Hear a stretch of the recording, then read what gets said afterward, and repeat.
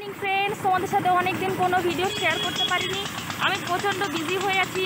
তোমরা তো জানোই কলেজে এক্সাম চলছে, সেই কারণে একটু বেশি বিজি হয়ে আছি। আবার কদিন পর থেকে কলেজটা খুলে যাচ্ছে, তার নিয়ে একটু একটু প্রেশার রয়েছে। হ্যাঁ তো আমার তো অনেকটা দূরে বাড়ি, তোমরা তো জানোই। তো আজকে হঠাৎ করে একটা ব্লগিং করতে চলে আসলাম তোমাদের জন্য।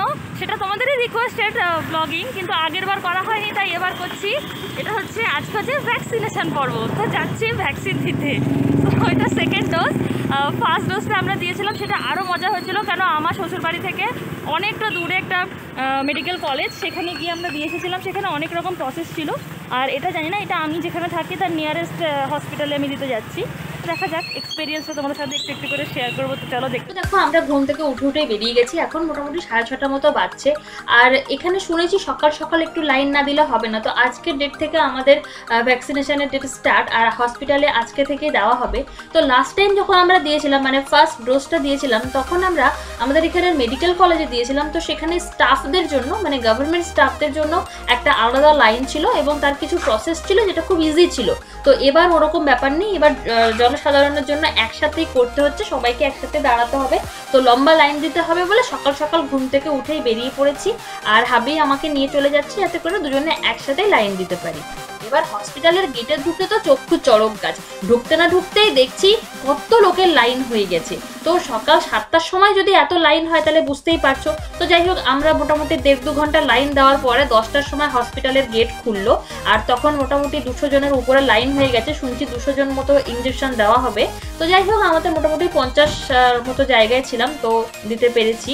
দেখো, আমার পিছনে কত লম্বা লাইন রয়েছে। আমার আগে যেহেতু ছোট লাইনে ছিল, তো দেখতেই পাচ্ছ ভিতরে কত লম্বা লাইন আর এখানে কি সমস্ত এন্ট্রি ফেন্ট্রি করতে হচ্ছে।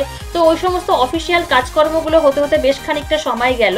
তো এরপরে ছোটকে ঢুকিয়ে নিয়েছিল যখন আমারটা হচ্ছিল। এই জন্য আমি ছোটর ভিডিওটা নিতে পারিনি, ওর যখন ভ্যাকসিনটা হচ্ছিল, কিন্তু ছোট আমারটা ক্যাপচার করেছে। তো ওটা তো অবশ্যই তোমাদের সঙ্গে শেয়ার করব। আর যখন আমাদের ফার্স্ট ভ্যাকসিনটা হয়েছিল, তখনও কিন্তু আমার ছবিটা নেওয়া হয়েছিল, কিন্তু যেহেতু ভিডিও নেওয়া হয়নি, এই জন্য সেটা তোমাদের সঙ্গে শেয়ারও করা হয়নি। তাই আমি চাইলেও খুব একটা ভালোভাবে এই ব্লগটা করতে পারলাম না। যতটুকুনি পারলাম তোমাদের সঙ্গে শেয়ার করার চেষ্টা করলাম। তো যাই হোক এই সমস্ত অফিসিয়াল কাজকর্ম কমপ্লিট করার পরে এবার আমরা চলে যাচ্ছি ভ্যাকসিনেশন যে সেন্টারটা যেখানে আমাদের ইঞ্জেকশন বেসিক্যালি দেওয়া হবে। ওই দেখো ছোট অলরেডি ঢুকে গেছি কিন্তু এদিকে আমার কাজকর্মগুলো চলছিল বলে আমি গিয়ে পারিনি। এবার আমারটা হচ্ছে। তো দেখো সেই চরম মুহূর্ত। এই সেকেন্ড ডোজটা দিতে কিন্তু আমার খুবই ব্যথা লেগেছে।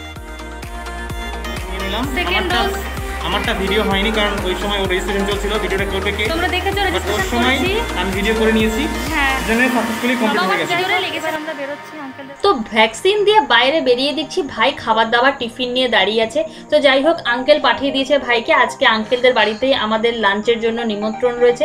তো যাই হোক এই দেখো একটা আঙ্কেল ইনি ডাক্তার ওই হসপিটালেরই ওনার সাথে কিছুটা গল্প টল্প করে ডিরেক্ট চলে গেলাম আঙ্কেলদের বাড়িতে। তো এই যে দেখো রওনা দিয়ে দিয়েছি পিছনে ভাই আসছে। আর যেহেতু ভ্যাকসিন দিয়েছি বাড়িতে গিয়ে রান্না বান্না করতে কষ্ট হবে বলে আন্টি নিজে থেকে সমস্ত রান্নার অ্যারেঞ্জ করে রেখেছেন। টিফিনও দিয়ে পাঠিয়েছেন, তারপরে আবার অ্যারেঞ্জও করে রেখেছেন।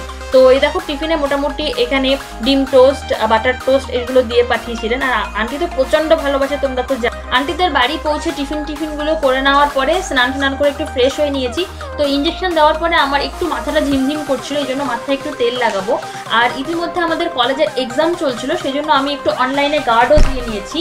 আর আন্টি খাওয়ানো মানে তো মারাত্মক অ্যারেঞ্জমেন্ট অনেক কিছু রান্নাবান্না করেন, তো যাই হোক, সব রান্নাবান্না আন্টি একাই করছেন, আর আমি এদিকে একটু মাথায় তেল টেল লাগিয়ে একটু রেস্ট ফেস্ট করে, তারপরে আমরা খাবার দাবারের জন্য চলে গেলাম লাঞ্চে বসে গেছি এই দেখো।